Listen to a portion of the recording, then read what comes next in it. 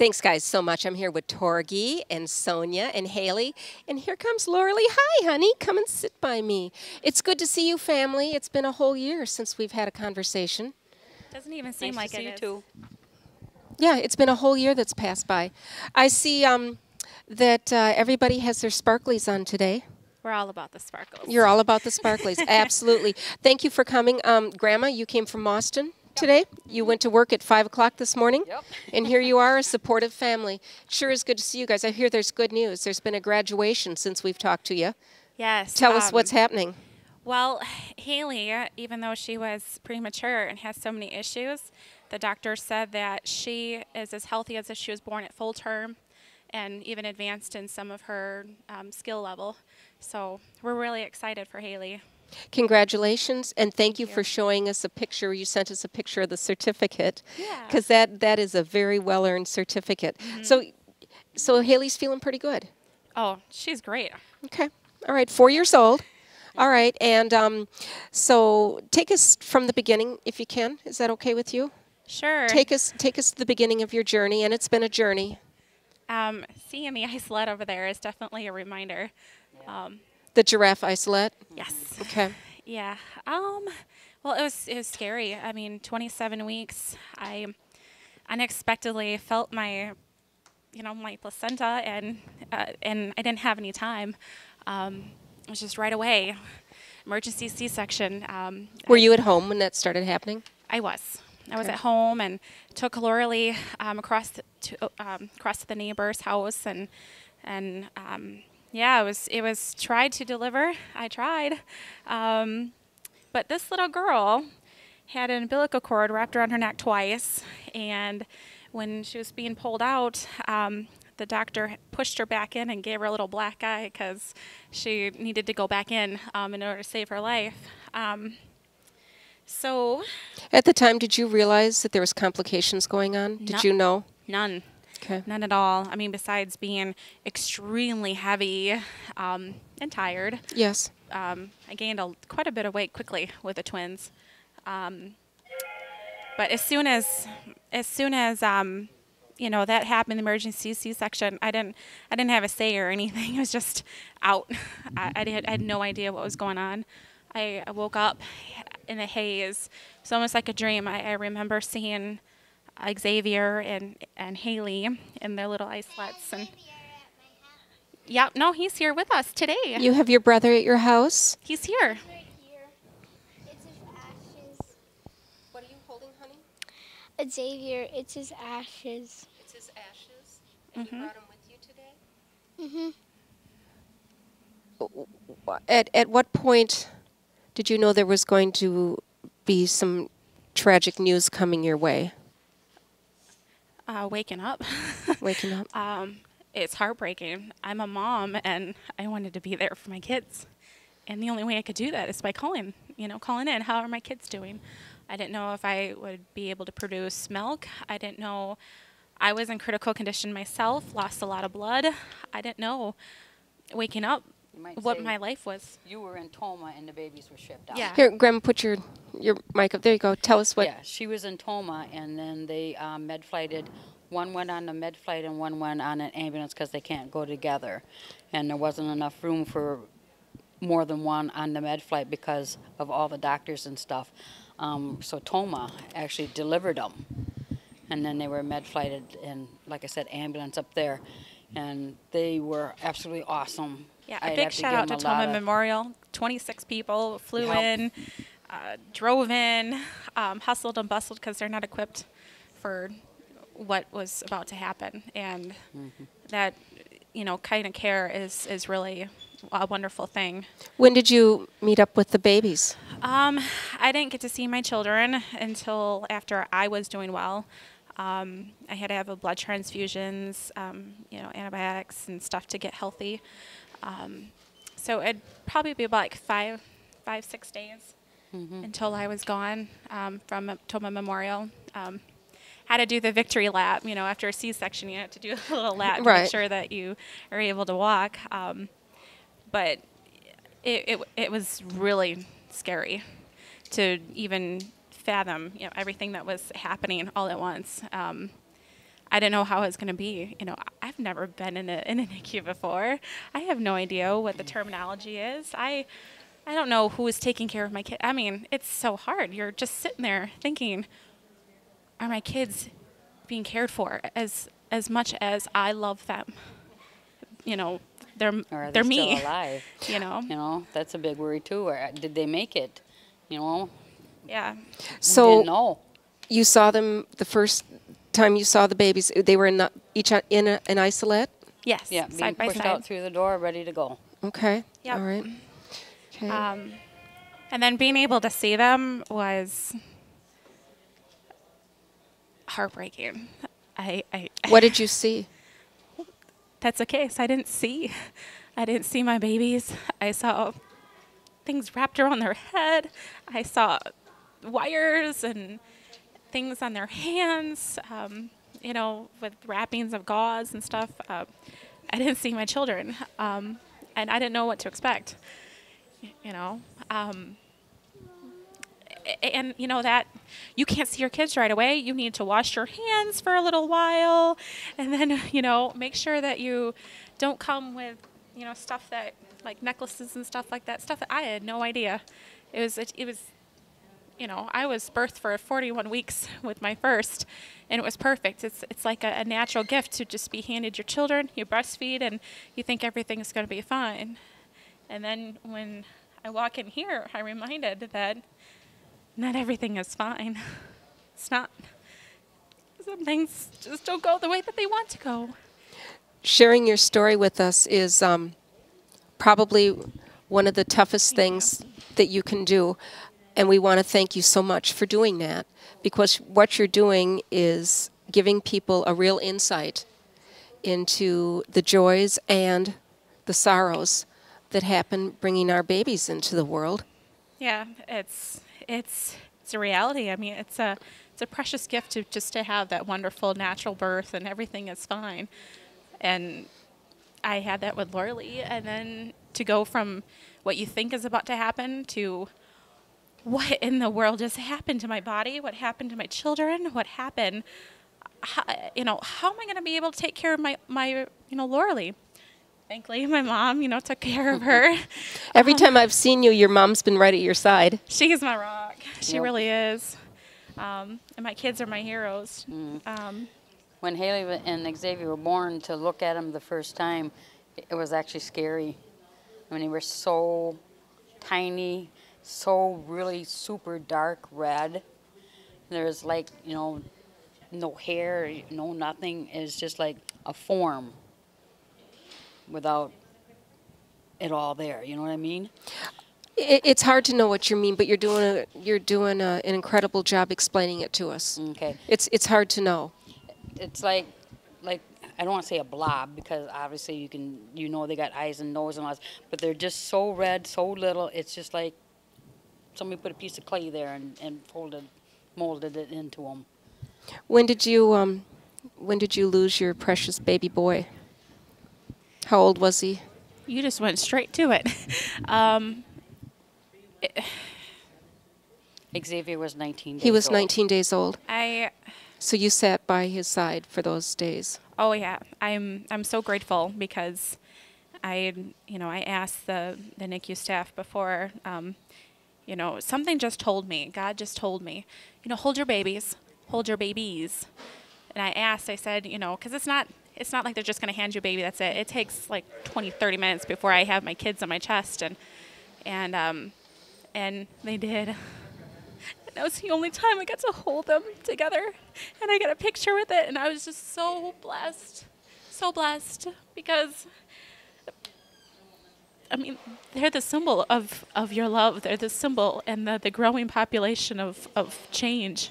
And when they told me after trying to give some medications to Xavier that um, his PDA um, didn't close, um, that he had to have surgery surgery always comes with complications, and I know that working at a hospital too. That whew, that breath of release. That okay, the surgery went well, and you're thinking everything's gonna be well, and it, his little body just couldn't handle it. Yeah, he, He caught just infection. couldn't. And so, and so I remember the very last day, when I saw him, I, I asked, I, I prayed, I looked at him and I told him, it's, it's okay. It's okay, Xavier. I love you and I don't want to see you in pain anymore. And so I asked him, I said, if you could do me one, one thing, can you open up your eyes so I can tell you I love you to you? And he did more than that. He is that he's that fighter, my kicker in the stomach, not Hailey. He was my kicker, wasn't he, Hailey? Yeah, he kicked you a lot. that he opened his eyes, and not only did he open his eyes, he lifted his hand that was covered with tons of weight bearing down on him, but he reached up his hand to me and looked me in the eyes, and I said, I love you. I will always love you. But it's okay. It's okay. You know, you can you can go. I mean, his body was vibrating because he couldn't breathe on his own. His his that perfect red complexion that my mom was talking about wasn't there. He was green and and blue, and his body just it looked like death, and I knew it was coming, and I knew, and I and I didn't want to.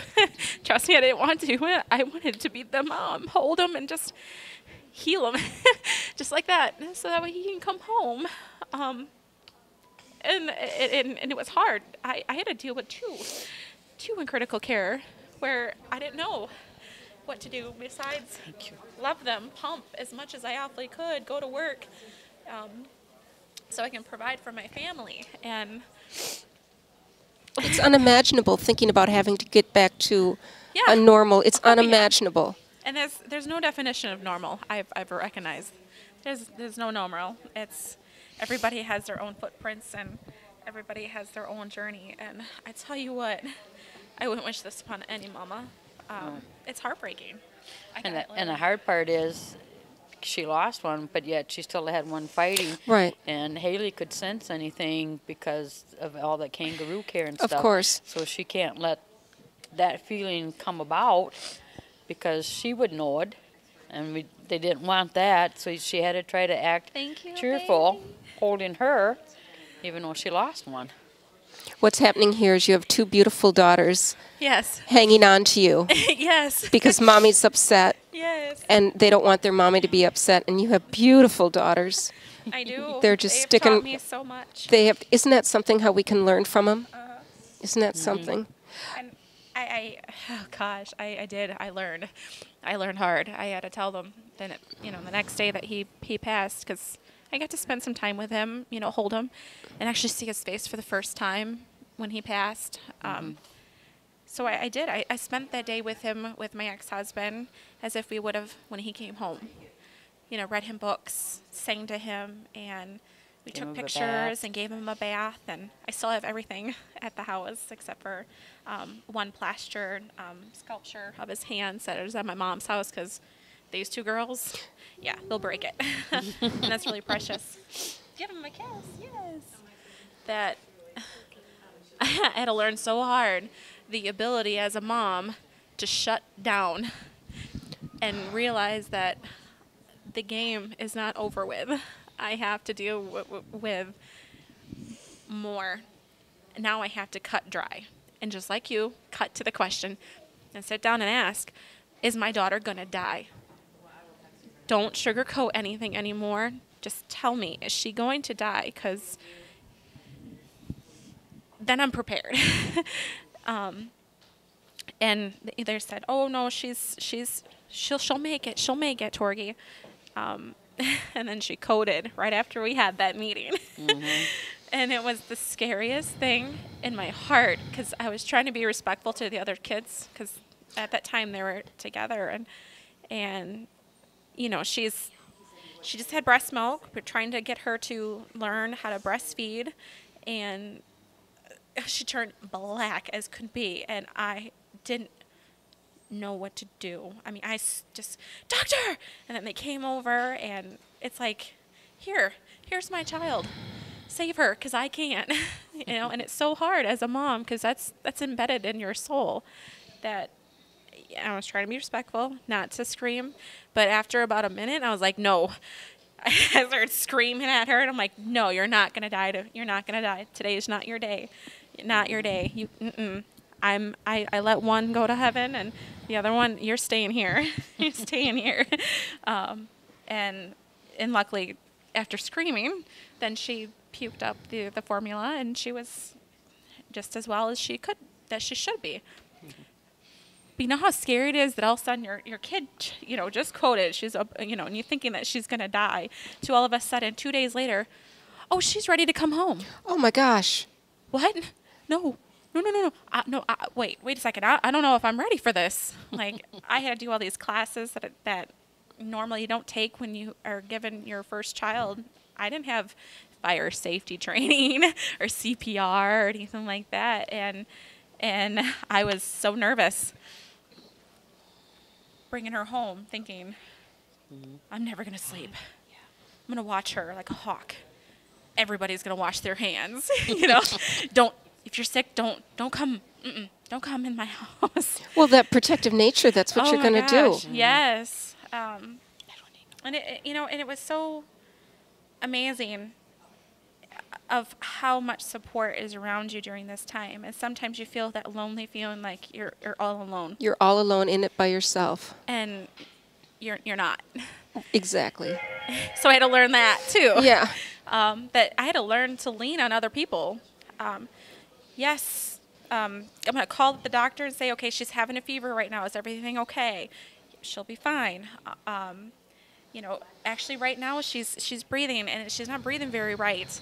Um, we'll take her in right away. Um, she had uh, ammonia. We had to take four days in the hospital with that, and that's kind of a remembrance of how it was before. And then she had her tonsils removed so that way she could breathe at night because um, she was like, just like, it was almost felt like she was choking. And, um, you know, as soon as that was done, it helped her out with her breathing. But, They should tell them that while she was in the NICU, she had pneumonia twice yep. and almost didn't make it from that. Oh my gosh, she had a lot of issues, my little child, and it's just so remarkable hearing, you know, for, I mean, she is just a miracle. Two pounds five ounces, heart murmur, uh, you know, ammonia. Um, she had so many breathing issues, infections, just all the stuff that she overcame, and you're so humbled by it because you're like, wow, she is here and she's right in front of me.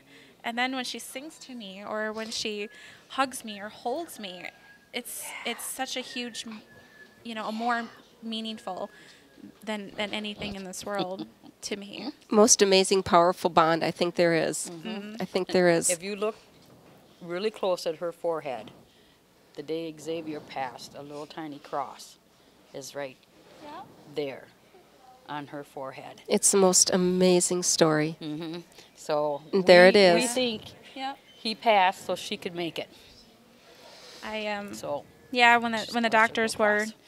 you know, after they told me, you know, that Xavier passed, I was. I'm like, I don't want to sit in this room with you telling me stuff. I, I you know, I, but I'm, I'm gonna sit here and be a good girl because I, I want to scream. I wanna, I wanna just tell the world how angry I am that he's gone, and he is always gone, but he's not because he's with me. and yes, honey. Yes, you can go play. Thanks for asking. you know that um, she's off. that here here the doctor was telling me, you know, what went wrong with him and the cloudiest day and it was just so bright. The l- room filled up with so much light. And then after that light, And she's telling me, you know, we're still going to be here and, you know, you have to continue to fight because you have that other little girl in that room and she she needs her mama. And I was like I got this. I got this. Um, then that's when I looked at my daughter and she smiled and she had that little cross on her forehead and she didn't have that before. Right. Because you can see it by the pictures. It wasn't there until after he passed. It's another cross. miracle. It is she It's- she's a miracle. She she really is. Well, when you came in today and told me that she graduated and she's already ahead of things with the four year scale, I mean, that, Oh yeah. Speaking as if she is 12 24 months look what way has happened in the last four years. Yeah, a lot. Um, I mean, when, when Hailey came in, I didn't even look up because I could hear her. And I thought, wow, she's talking more than she talked last year. oh, It's amazing. she can talk. Yes. And talk and talk and talk. When you um, found out about Children's Miracle Network, had you known about it before they reached out to help? You know, I I'll be honest, I didn't really truly know about the organization. I just knew it existed. I didn't know exactly it would do for my family. And it's it's it's a huge it's a huge um, like that air balloon kind of that we got you and we're going to lift you up because we're never going to let you down. And that is like the hugest you know relief of They were stress for me. How did they help you? Um, well, education, as the previous mom was talking about, um, you know, learning about the terminology, learning about what resources are available to me. Um, the, the gas vouchers um, in order to go an hour back and forth every single day um, is a huge help financially for me. Um, to the, the just Food simply the vouchers. meal vouchers, helping out when I could stay here, so that way I could stay here and and be with her when she was at her critical need and she needed her mom because that time is precious. Time is that's the only gift that we have for each other. That is the most precious thing that such as this organization has given me. Well, you know what you're doing? You're giving back to them. Yep. For coming That's in to tell, I'm- and that's what you guys here. are doing. And I know you know that Mm-hmm. because this takes more strength and more gumption to come back and share and tell us. But you know what? We look forward to seeing you each year. Yeah. And you know the good thing is, is when you come back and we see what's happening with Lorelai and with Hailey, it's like the best news ever. Yep. Yeah. It's the best news. Yeah, they said that uh, the twins were million dollar babies, and Oh, and then some. and oh my then goodness. some. Yeah, so all the help we received was immense. It was awesome. Well, we can't thank you enough for coming in. Would you like to add anything before we close? If someone's on the line and you're thinking, I want you to feel. I don't want you to think, I want you to feel the intensity of the time that you're taking to listen to me is exactly what you're giving to this organization. That is the precious gift. It's not the money. Money always is financial relief, but you're giving back in so much ways by just picking up that phone and helping families like myself. And I continue to do it every single year because of that reason. And I donate every month because just when you think that no one's there, they're there. So just feel with me because I'm giving you the hugest hug in the world because I'm such a loving, hugging person that I'm giving you that hug over the air. And I'm telling you thank you in advance. I can't think of a better way to close. Your strength is just amazing. It's amazing. Thank you, whole mm-hmm. family, for coming in to see us. And you know what? We're looking forward to seeing you next year. Hopefully, we'll see you before then. All right, thanks for joining us. You're listening to the Children's Miracle Network Radiothon, a service of the La Crosse Radio Group.